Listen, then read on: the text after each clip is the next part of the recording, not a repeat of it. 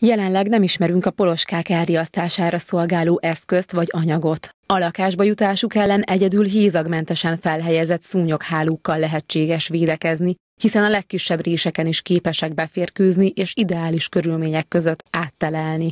Ez a két imposztor faja márványpoloska, illetve a vándorpoloska, az egyik délről, a másik pedig keleti irányból érkezett hozzánk, Ezekre az jellemzők, hogy hajlandók áttelelni, hogyha megfelelő helyet találnak ez, ezért költöznek be ilyenkor nyár vége, őszelén a hidegebb időszakok beköszöntével fedett zárt helyekre. Minden apró rés elég nekik, ahol beférkőzhetnek, és ilyenkor meghúzódnak egy pici sarokban, Ilyen esetben is elpusztulhatnak még tavaszra, de megfelelő körülmények között jó pár példány átvészelhet így, és a következő nemzedékek indítását elkezdheti jövőre.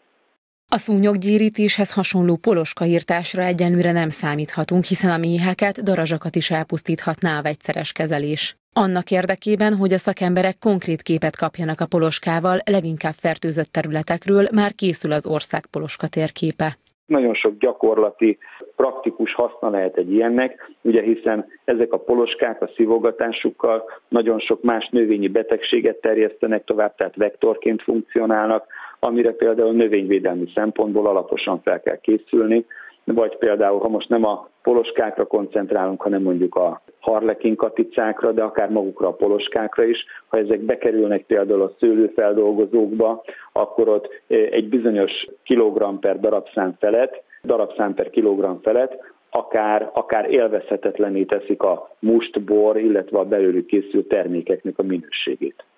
Kellemetlen szagot árasztó rovalok ellen úgy is védekezhetünk, hogy villanyfény mellett nem szellőztetünk. Ha már bejutottak a lakásba, a legegyszerűbb összeporszívózni őket, ezt követően pedig a porzsákot megsemmisíteni.